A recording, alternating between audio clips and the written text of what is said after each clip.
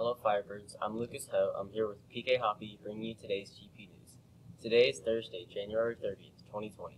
Weather for today is sunny. The current temperature is 51 degrees with a high of 68 degrees. Today for lunch we're having Emoji Day. Chicken nuggets, emoji potatoes, baked beans, and emoji fun frozen fruit. In sports news, GP softball and baseball tryouts will start February 10th. All athletic paperwork including sports physical, must be turned into the office before tryouts start. If you have questions, see Mrs. McFarland. If you are interested in joining our District 5th to 8th grade track and field team, please see Mrs. DeReese for details.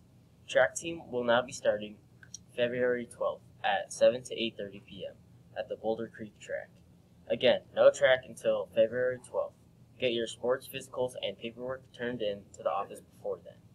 In other GP news, music a musical rehearsal 3 to 5 p.m. in the MPR. Kinder Preview Night is tonight, 5.30 to 7 p.m.